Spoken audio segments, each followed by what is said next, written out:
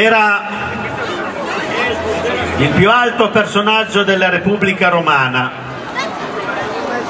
e costituiva la meta suprema della carica politica di ogni cittadino dell'antica Roma ed è certamente il più alto personaggio maschile del nostro carnevale e anche il più ambito. Giunga fra noi il valente console, impersonato da Claudio Fragno!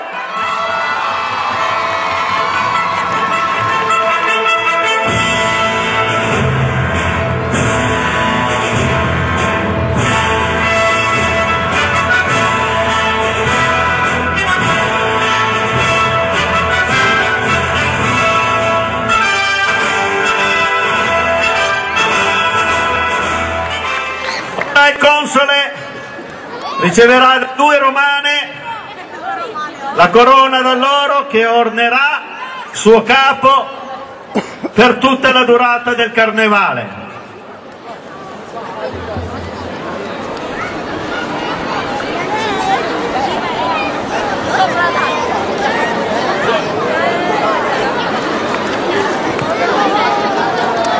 È un perfezionista, eh, attenzione questo. Il nostro sindaco Guido Ieia consegnerà ora le chiavi del paese, simbolo di potere, al nuovo console.